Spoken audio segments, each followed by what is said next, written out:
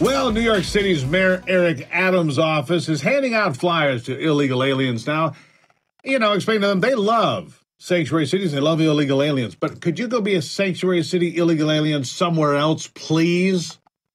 According to the mayor's office, New York City will be issuing flyers to immigrants that enter the country illegally that outline reasons they should settle somewhere else. Hey, we love New York City. The Big Apple's great. Could you go somewhere else, please?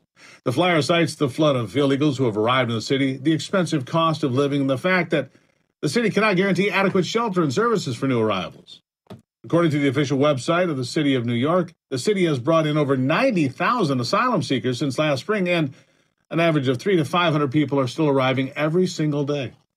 You know, since Adams took office, the number of illegals being housed in New York City shelters has increased by more than 100%.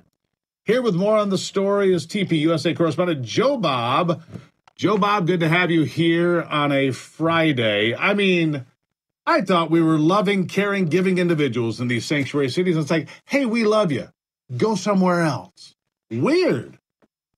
You know, uh, sometimes I get in trouble for saying this, but I'd like to correct uh, myself at least. I don't say illegal immigrants, I say criminal immigrants because it is a hmm. crime uh, and I think that adds a little bit more to the punch. Uh, but the whole idea that New York City is a quote unquote sanctuary city, just briefly, I want to unpack what that means. That means that the city itself will not cooperate with the federal jurisdiction, the, the federal immigration people. So all that means is that they will not say, hey, this person who committed a crime in this city that is uh, in custody in this city, we're not going to tell the federal government whether or not that person is in our custody or we know anything about them. They're not going to cooperate in any way, shape, or form. Now, a couple quick numbers, which I think is fascinating.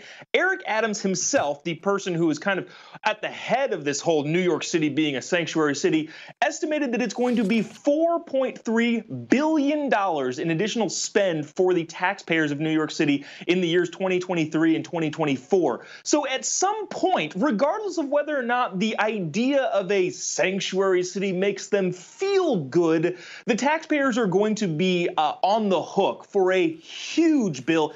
And at some point, it's just not going to be uh, economically possible to continue having the policy that they have. Look, I'm, I'm telling you, I'm going back. Martha's Vineyard has lots of cash.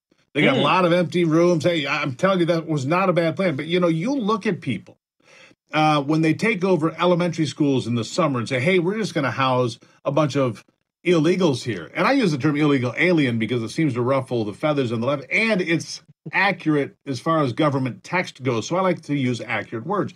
In Chicago, Joe Bob, you've seen this. The parents there, frankly, are mad as hell because they're taking mm. over local schools and playgrounds and setting up these, you know, these temporary illegal shelters that are not temporary because they don't have any place to go. We let them in. Now they're here. And now they're stuck with these neighborhoods. I mean, honestly, that's a huge problem.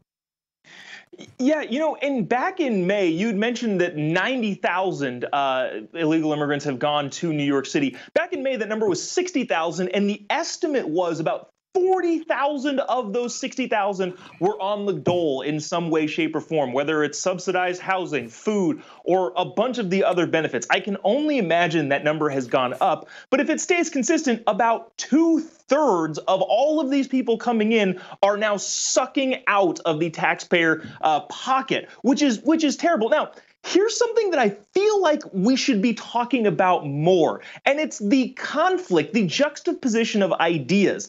The left on the, the lefty side of the aisle in this country so often goes after things that they deem as bad for you by taxing it. And it, they think that, well, if you tax it, then people will do it less, which must mean that if you subsidize it, people will do it more. So if they believe that taxing things like soda and food that is quote unquote bad for you, you will get less of it, then they have to believe if you subsidize something, you will get more of it.